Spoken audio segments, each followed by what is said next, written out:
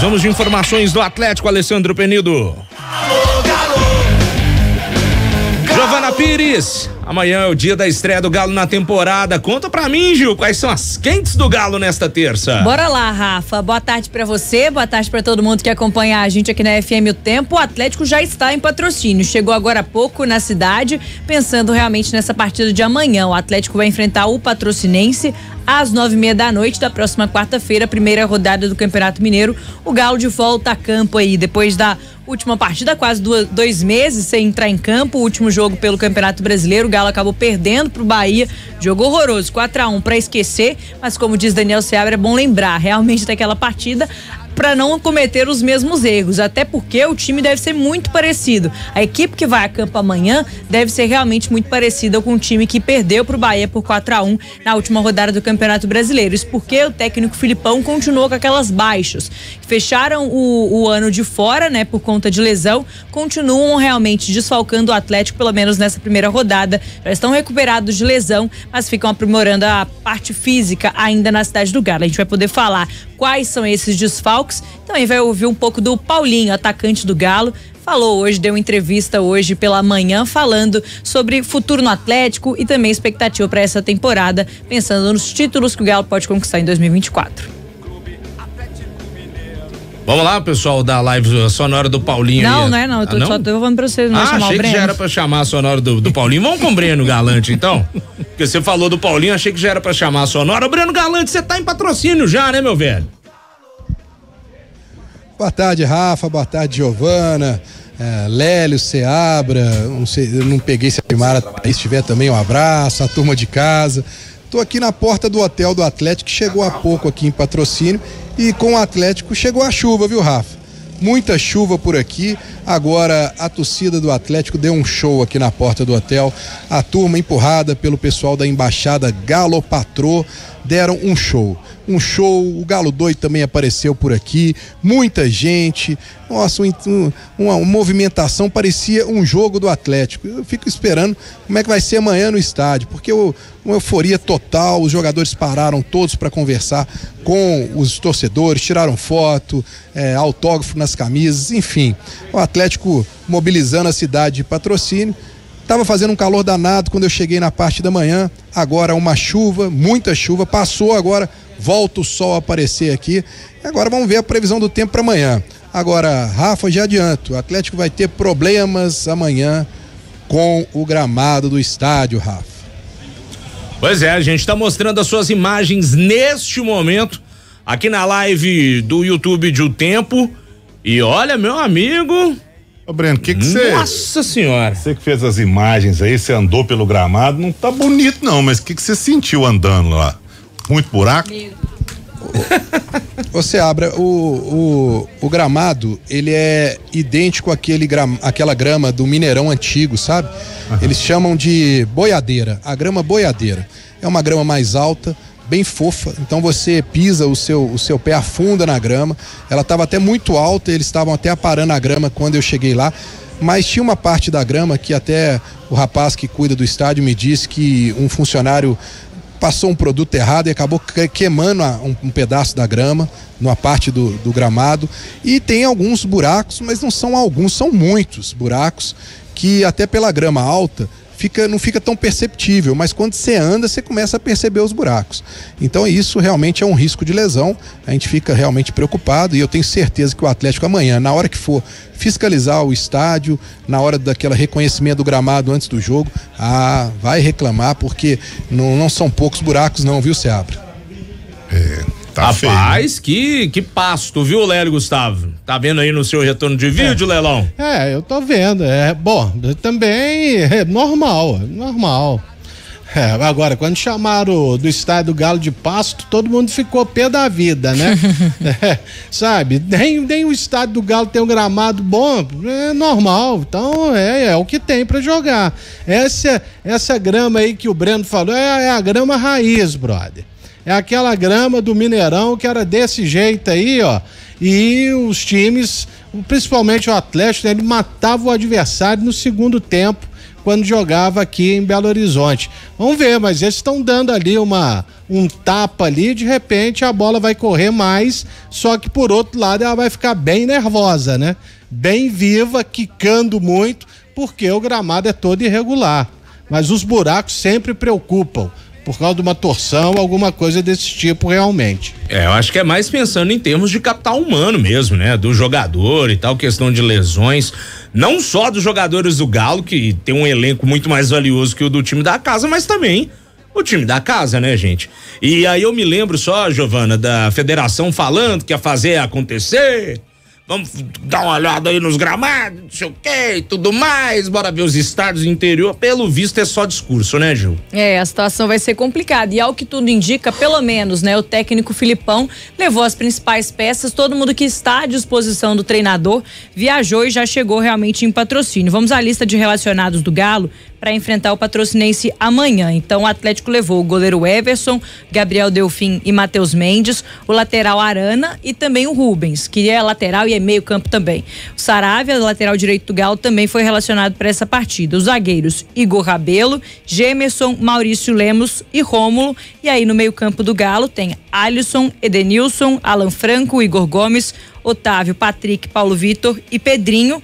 E as opções no ataque: Allan Kardec, Cadu, Hulk, Paulinho, Pavon e Eduardo Vargas. São esses os jogadores relacionados pelo técnico Filipão. Quem é que ficou de fora dessa lista? Quem não viajou para patrocínio? Gustavo Scarpa, o único reforço já anunciado pelo Galo para essa temporada. Teve uma lesão no ano passado, a gente já trouxe isso aqui. E aí ainda está se recuperando, está nessa fase final para preparando principalmente a parte física, assim como Rodrigo Batalha, Zarate, Mariano e Bruno Fux. A situação desses jogadores, então, é de poupar, digamos assim, tá realmente aprimorando a parte física, fazendo alguns trabalhos, estão treinando com o grupo normalmente na cidade do Galo, mas também fazem alguns trabalhos à parte. Ficam de fora dessa parte de então esses cinco jogadores desfalcos do Galo. Apesar disso, Atlético vai com força máxima, pelo menos entre os relacionados, para esse jogo, mesmo com o gramado podendo complicar. Desfalque, sim. E, e, esse Rômulo aí, quem seria? É o da base. Ah. É, um é, zagueiro, zagueiro da base. da base. É uma novidade, né? Até ele, então. Ele nunca estreou, ele nunca é. jogou. Uhum. Mas ele já foi relacionado ah, outras tá, vezes. Tá.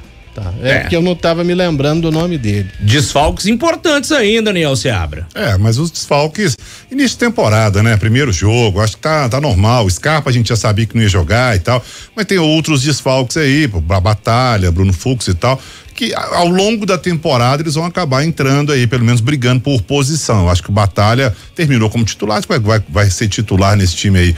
Terminou brigando ali, né? Para mim ele é titular, junto com o Otávio, dois volantes. Vai depender do que o Filipão vai querer armar. Mas como a gente sabe que o técnico é o mesmo, o, o, estilo de trabalho é o mesmo e os jogadores também são os mesmos, eu acho que ele vai com dois volantes. No caso, não tendo batalha, vai alguém ali pelo meio de campo, Sarate pode fazer aquela, aquela função, o próprio Igor Gomes, alguém ali fechando no meio.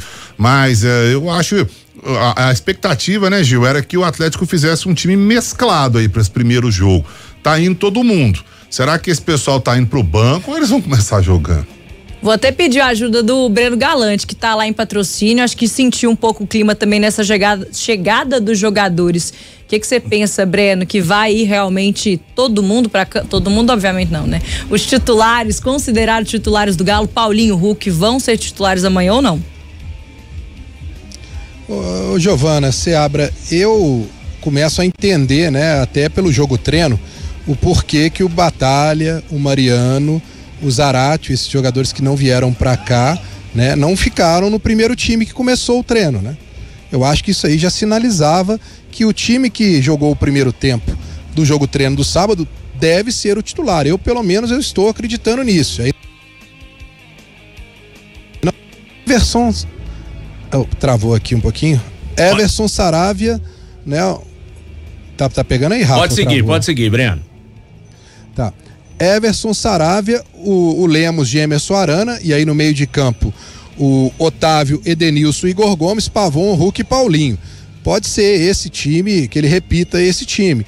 E aí no segundo tempo ele dando chance para os garotos entrarem e tudo mais. É, é uma situação que foi definida primeiro pela questão física, né? Esses jogadores que a Giovana falou aí são jogadores que requerem um maior cuidado físico. A gente tem que lembrar que também o Batalha terminou a temporada passada se recuperando de uma lesão, ele não terminou jogando, né? O Zarate sempre tem alguns problemas, então acho que é mais um, uma prevenção para poder começar o ano melhor. E por aqui, só para poder dar mais algumas informações, né? A torcida do Atlético vai ter à sua disposição 1.900 ingressos, Rafa. No total de 5 mil que foram colocados à venda. O estádio ele tem capacidade para 9 mil pessoas. 5 mil ingressos à venda, 1.900 para a torcida do Atlético. Até então tinham me falado que mil ingressos foram vendidos, que o primeiro lote foi 80 reais, e aí o valor passou para 100 e agora passou para 150 reais, Rafa. E eu ainda não tenho notícia se os demais ingressos foram vendidos. Mas se tivermos casa cheia, vamos estar tá falando amanhã de 5 mil pessoas no estádio eh, aqui em patrocínio, Rafa. É, o público padrão de algumas praças aí do futebol mineiro, né? Nem todos os estádios têm uma capacidade tão grande como, por exemplo, Ipatingão, né? Que é maior do que o Pedro Alves no Nascimento, o, o próprio Parque do Sabiá, né? Tem uma capacidade absurda perto de outros estádios do interior. E vamos ver aí, ó, imagens inclusive da delegação do Atlético chegando, o Galo doido marcando presença e a torcida ali aproveitando para tirar aquela foto com Guilherme Arana ali no caso, é, atendendo a torcida do Atlético em patrocínio. Nove e meia da noite, o jogo da estreia do Galo no Campeonato Mineiro, Giovana Pires. eu acho, só uma parte sobre essas imagens, é imagens do Breno, né? Eu acho isso legal, sabe? Eu acho bem legal ter, a gente, é, é isso que a gente defende, assim, de, de, de, os clubes poderiam fazer mais isso, até no Campeonato Brasileiro. Tipo assim, sei lá, levar o jogo que você falou, estádios grandes aí, levar um jogo de vez em quando para um do Sabiá levar um jogo para um Ipatingão, lá para o Mar Helênio, lá lá para o sul de Minas. Ela podia um jogo assim de vez em quando para atender a turma. Você vê a festa do pessoal. O pessoal do interior tem pouca chance de ver os times da capital lá, tanto Cruzeiro, Atlético, América. Então quando vai é legal isso aí. Eu acho que o Campeonato Mineiro a gente tem que debater muito porque ah, muita gente é contra, muitos são a favor, a fórmula, blá, blá, blá, aquela mesma coisa que a gente já cansou de disputar, de, de, escutar. Mas tem muito torcedor no interior que é carente, sim, de ver os seus ídolos, de ver, os jogadores ali de perto. Acho legal esse tipo de recepção aí, viu? Show de bola, Gil. Vamos dando sequência aqui ao noticiário do Atlético e inclusive a galera que é de fora de Belo Horizonte, tem até o Lucas Pereira se manifestando aqui falando que vai ao jogo do Galo lá em Brasília. O Atlético joga contra o Itabirito, Itabirito em Brasília, é, né? É isso. Mora lá em Sobradinho. Um abraço pra galera do Distrito Federal. Sobre os jogos no interior, né? O Atlético só vai fazer duas partidas nessa temporada, pelo menos pelo Campeonato Mineiro, nessa primeira fase. Vai depender de, de se passar para a semifinal e qual clube também avançar. O Atlético só vai fazer realmente dois jogos fora de BH. Em 2023 foram três partidas, então esse é o, número, é o menor número nos últimos anos aí, pelo menos desde 2013, que foi o levantamento que a gente fez no fim do ano passado. Em 2021 também foram duas partidas, só que naquele ano, por conta da pandemia, vários jogos de clubes mine... clubes do interior, na verdade, precisaram acontecer em Belo Horizonte ou até em outra cidade por conta das regras da pandemia de cada município, né? Como cada município tratava a Covid-19 e aí os jogos precisaram ter alterações. Então, realmente foi um 2021 um ano atípico em relação ao Campeonato Mineiro. Então, a gente meio que desconsiderou essa temporada para fazer esse cálculo dos jogos no interior, né? O Atlético jogando no interior. Então, 2024 apenas duas partidas. A primeira é essa contra o Patrocinense em patrocínio e na sequência o Atlético em São João del Rei. As duas únicas partidas do Galo nessa primeira fase jogando no interior com a torcida aí que dá esse calor diferente, como o Seabra disse. Sobre o time, provável time titular do Atlético, como o Breno Galante destacou agora há pouco, é, contando com esses desfalques, é uma equipe muito parecida com aquela da última rodada do Campeonato Brasileiro, que perdeu para o Bahia por 4 a 1 o técnico Filipão naquela partida já tinha muitos desfalques, inclusive esses realmente que estão de fora desse jogo, porque estavam lesionados, ficaram de fora daquele confronto. Então, um time muito parecido. A única alteração é o Mariano, que saindo então, que vai ficar em BH, não viajou, para a entrada do Saravia, que se recuperou de lesão, tá tudo bem com ele, vai ser o titular. Não tem outra opção também na lateral direita, a não ser que o técnico Filipão improvise algum jogador. Mas pensando então é realmente o mesmo time praticamente, também alteração ali na zaga. Maurício Lemos ficou de fora do último confronto, a dupla titular foi Gemerson e Igor Rabelo, então esse provável Atlético muito parecido com aquele que fechou o ano que foi muito diferente do que o técnico Filipão foi fazendo desde que chegou ao Galo em junho do ano passado. Foi mexendo nas peças. Agora bora ouvir o Paulinho, jogador Giovana. do Atlético. Oi. Não, não, só para poder levantar uma bola aqui rapidinho, porque o Lélio outro dia disse aqui no programa que ele esperava que na ausência de um dos dois titulares da direita, que o Filipão não improvisasse, desse chance pro Vitinho. Vitinho não viajou. Então, se o Atlético tiver algum problema na lateral direita amanhã, Lélio, teremos Edenilson possivelmente improvisado na lateral direita de novo, né? É, o que é lamentável, né? Porque afinal de contas a gente fala, ah, o campeonato mineiro é para experimentar o jogador. De repente, fisicamente ele não está no nível, ele está servindo alguma seleção também, não sei. Mas que poderia. Não, Vitinho estava na Copa São Paulo, né, Lélio? Voltou agora. Ah, é verdade. É. Então pode ser que ele esteja de férias, mas era para é, pra, o jogador nessa idade não está querendo férias. Surge uma chance dessas, fala, eu quero ir. E tinha que, que, que ir lá para o jogo contra o Patrocinense. Mas já, já começa o ano improvisando, aí fica difícil realmente. Boa. Vamos Bora ouvir o Paulinho, então. Bora, bora ouvir o Paulinho, entrevistado de hoje na cidade do Galo, logo depois do treinamento, a última, última atividade do Galo antes da partida contra o Patrocinense, gente.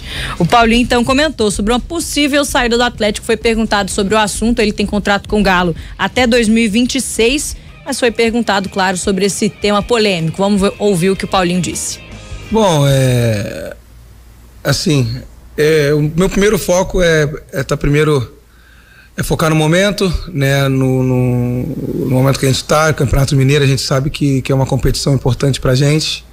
É, claro que sempre vai ter burburinho, né? Das coisas que podem acontecer no futuro, mas é, a gente não controla o futuro, né? Acho que tudo é uma consequência do que a gente faz no, no presente. E então meu foco é todo agora é, é, jogar pelo Galo, é fazer gol, é dar assistência, é ajudar o Galo de alguma forma a conquistar as vitórias que a gente, a gente precisa para conquistar os êxitos né, que o Galo merece. Tá, então, Paulinho, atacante do Atlético, que foi artilheiro do Galo na temporada com 31 gols marcados, maior goleador também do Campeonato Brasileiro com 20 gols. No Campeonato Mineiro, foi aquele início, ainda a adaptação do jogador, né, do camisa 10 do Atlético, foram 11 partidas, dois gols e duas assistências, não conseguiu brilhar no estadual, mas aí ao longo da temporada acabou ganhando força principalmente na segunda etapa ali do Campeonato Brasileiro e foi o grande destaque do Galo em 2023. Ainda sobre o Paulinho, vamos ouvir o que ele falou também sobre conquistar o Campeonato Mineiro. Será que é obrigação do Galo chegar com tudo? Foi campeão das últimas quatro edições, agora tem mais uma oportunidade. Vamos ouvir o que o Paulinho disse. Bom, a gente sabe que é uma oportunidade em tanto, né? A gente.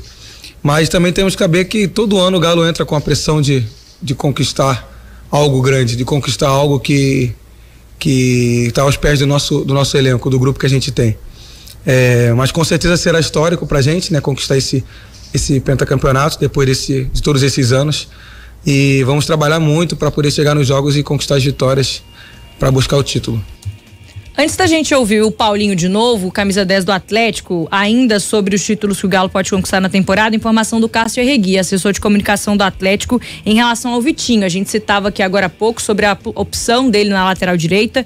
De acordo com o Cássio, então, o Vitinho estava realmente na Copa São Paulo, como o Breno Galante destacou, e voltou só essa semana. Então ele não fez a pré-temporada com o time profissional. Então, por conta disso, ele está treinando com o grupo, mas mesmo que estivesse de fato pronto, o nível do treinamento é diferente, o nível de preparação é outro. Então, por isso, um pouco mais de calma, cautela nesse início de temporada, porque ele não conseguiu fazer a pré-temporada junto com o time profissional. Essa é a resposta do Atlético. Show de bola. E o Vitinho, né? Vamos ver. Tem que dar tempo também aí e tal para testar o garoto. Eu também concordo com o que o Lélio disse de improvisar o Edenilson não é o melhor dos cenários, mas é o que temos para hoje, né? Esse mas tem o Saravia, gente. Não vai improvisar o Edenilson.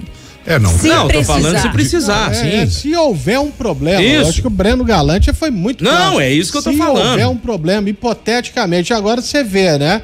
É, é claro é que ele estava na Copa São Paulo, mas como uma base é diferenciada da outra. O Flamengo foi, pegou o time dele da Copa São Paulo e levou para jogar o Campeonato Carioca. Foi mesmo. E tô nem aí, até porque não tinha o que fazer, né?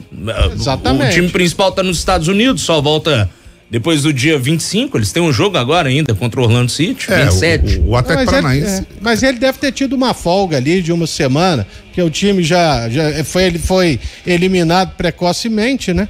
É, o o Atlético Paranaense, né, ele costumava fazer muito isso. Esse ano até mudou um pouco a filosofia. Estão entrando lá com o time titular.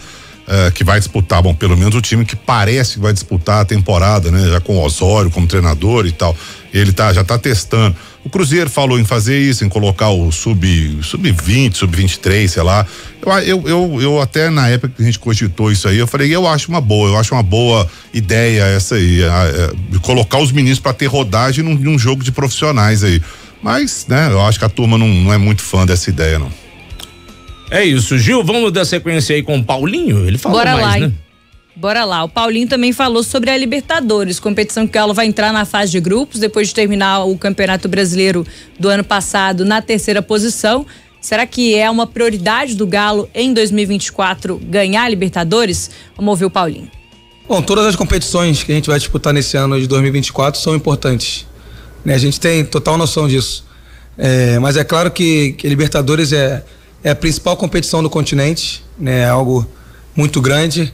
E, e o Galo é, o- é um clube acostumado a jogar essa, essa competição. E com certeza, com o grupo, com o elenco que a gente tem, a gente vai em busca né, desse título que, que vai ser histórico para para nossas carreiras, né, do- dos jogadores e também para a história do Galo, que, que é o mais importante. Tá aí, então, o Paulinho ataca. Pode falar. Não, esse assunto a gente até debateu um pouco no fim do ano passado e início da temporada, né, Ju? Você tava de férias. Ô, coisa e, boa. e a gente. Saudades, né? Saudades, E a gente ficou tempos. aqui. E aí? O que, que é prioridade? Aí a gente debateu, né, com o Breno Galante, com, com a Edmar Oliveira e tal, Lélio Gustavo também. É, e aí teve coletivo do Filipão, e aí se pergunta o que, que é prioridade. É o Penta do Mineiro? É a Libertadores. Prioriza tudo, dá importância igual, não sei o quê. É, mas de termômetro aí, apesar de ouvir de muito, muita gente dizendo que todos os torneios que o Atlético disputar, ele vai disputar com seriedade para tentar conquistá-los. Eu acho que a turma tá mais pensando em Libertadores aí do que tudo, viu, Breno Galante? Não sei se você tem essa mesma percepção que eu. Ô Rafa, o- a questão do Mineiro, o Mineiro ele é no primeiro semestre, né? Então ele não se mistura muito, né? Só na reta final que ele dá uma misturada. Então o Atlético consegue fazer com tranquilidade esse campeonato mineiro em busca do pentacampeonato. Mas eu acho, como você disse aí, que o Rodrigo Caetano tem, tem como objetivo conquistar uma Libertadores que ele não tem, o Paulinho, o Hulk. É um título diferenciado para todos os jogadores. Imagina aí o Hulk fechar esse ciclo com uma Libertadores. Fechar que eu falo é conquistar os grandes títulos que o Atlético tem hoje, né? De todos o do que o Atlético tem hoje, o Hulk ainda não tem a Libertadores. Então eu vejo que o Atlético está levando com muita seriedade. E um detalhe: é, o Otávio conversou com a gente aqui na chegada e ele disse que apesar do pouco tempo que o Atlético teve para se preparar, mas o time está muito focado e preparado para começar com o pé direito em busca do pentacampeonato. Então, isso também parece que está intrínseco já em todos os jogadores. Não menosprezar o Mineiro de maneira nenhuma, levar com seriedade e tentar entrar para a história também com o pentacampeonato, viu, Rafa? Olha só, pelo, pela conversa que eu tive com o Sérgio Coelho no início do ano, no dia da posse, né, da, dele como, no segundo cargo dele como segundo cargo não, né, no segundo mandato dele como presidente do Atlético, realmente isso que o Breno falou, parece que é um desejo muito grande da diretoria do Galo conseguir esse pentacampeonato, que não acontece há muito tempo, né? Foi a última vez que um clube mineiro conquistou o estadual cinco vezes consecutivas, foi lá em 1983. Então o Atlético tem sim esse interesse de colocar essa gestão do Atlético, a atual gestão do Galo, um pouco na história, né, do futebol mineiro. Então realmente esse penta é importante para o Atlético neste momento, é claro, mas como o Breno também destacou, Campeonato Mineiro não vai interferir, né, nos- no restante da temporada do Atlético, nos outros títulos que podem sim ser mais importantes para o time. São 6 horas, 8 minutos, estamos chegando na reta final desse primeiro tempo do Galo. E queria saber aí da turma, vocês acham que o Atlético devia, deveria priorizar alguma dessas competições, lembrando que esse ano tem Mineiro, Libertadores, Copa do Brasil e Campeonato Brasileiro, né, Seabra? Olha, em se tratando de importância, claro, ou vamos combinar que o Campeonato Mineiro é o, é o menos importante desses. Mas eu acho que o Atlético tem elenco, o Galo montou um elenco aí, tá contratando. A gente sabe que tem algumas posições que ainda estão carentes, né? Contratou o Scarpa, mas o ataque, a gente vem falando isso aqui muito. Tem Paulinho Hulk, Pavon e mais ninguém, né? Porque o Vargas, a hora que precisa, não tem. Né? tem tá, saiu há mais tempo já, o Ademir, Sacha e tal. Então, o Atlético não repôs, mas tem um elenco. Eu acho que o Galo tem elenco para não priorizar. Mas, eh, sinceramente falando, o Campeonato Mineiro, obviamente, eu acho que é o menos importante desses aí, por, por ter todo ano, né? Por ser uma disputa bem regionalizada e bem mesmo, né? Porque é só Belo Horizonte, basicamente, né? E aí, Lélio Gustavo, tem alguma prioridade pro Atlético? Você acha que deveria focar em A, B, C ou D? Ou não existe isso? Ah, eu acho que não. O Atlético tem que. Bom, o, a, a Libertadores pro Galo só começa em abril, né? Só para lembrar, ou seja, é já é, ele vai entrar na Libertadores quando tiver terminando o Campeonato Mineiro. Então, é, disputa o Mineiro, faz ali uma preparação para Libertadores e vai tocando a Libertadores que vai até novembro né? Mas o grande lance da Libertadores para o Atlético esse ano é que se ele conquista o título, ele estará ano que vem na Copa do Mundo de Clubes. Né? E, e a previsão, por exemplo, só de você se classificar, ela gira em torno de 300 a 400 milhões de reais. Só para você participar do torneio. Então, é, é, é uma coisa que o Atlético certamente deve estar pensando. Agora, para pensar muito nisso aí, eu ainda vejo que o Atlético deveria buscar mais dois, três reforços. Né? E aí ele fala: nossa prioridade é essa, beleza. Porque aí qualquer problema tem time de sobra também para ir disputando o campeonato brasileiro. Mas eu vejo um risco muito grande você ficar priorizando A, B ou C. Tem que jogar, tem que ir jogando como o Atlético fez em 2021 né? Ele só por um azar ali muito grande, ele não chegou à final da Libertadores também. Tá certo, seu Lélio Gustavo. Gil, estamos fechando essa primeira parte, mais algum detalhe? Volto na segunda parte, Rafa, para destacar também sobre a participação do técnico Filipão, tá? No Atlético desde o ano passado, ali em julho, logo depois da saída do Eduardo Cudê, e agora vai reestrear diante do Campeonato Mineiro, ele que não disputa o nosso estadual há 23 anos. Tá de volta então o técnico Filipão, a gente vai poder falar sobre os desafios do treinador do Galo nessa disputa do Mineiro.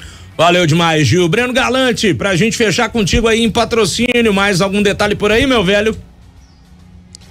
Ah, Rafa, eu tô aqui, né? Na porta do hotel e vou continuar aqui, né? Na cola do Galo aqui em patrocínio, seguindo os passos do Atlético. Amanhã vou dar mais uma passada por aqui, porque eu sei que os jogadores, mesmo depois do café da manhã, eles dão aquela atenção aos torcedores estão aqui na porta. E vou dizer, mais uma vez, ressaltar a grande iniciativa do Atlético que eu acho que tem que fazer sempre, viu, Rafa?